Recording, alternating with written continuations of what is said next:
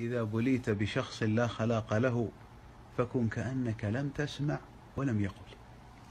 هذه من أجمل القواعد اللي يمكن تستخدمها في حياتك قاعدة التجاهل.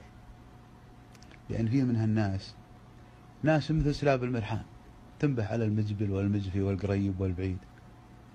وإنسان كل نابح أنت بترجع له وتأدبه ضاع وقتك وكثرت مشاكلك. ودائما مثل الشخصيات ما تجد عنده رادع من دين ولا عقل ولا مروءة. وليس لديه ما يخسر أصلا. غارق في الوحل ليس لديه سمعة يخشى عليها ولا يذود عنها. فتكون أنت الخاسر في الأول والأخير.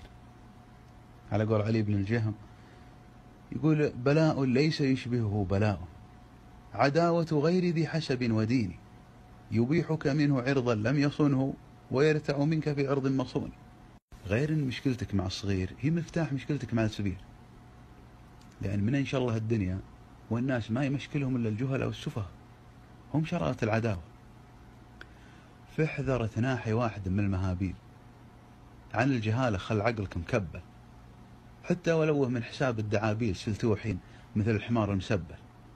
لا سبرة الدعوة تجر الرجاجيل ما ينشب العقال غير المهبل.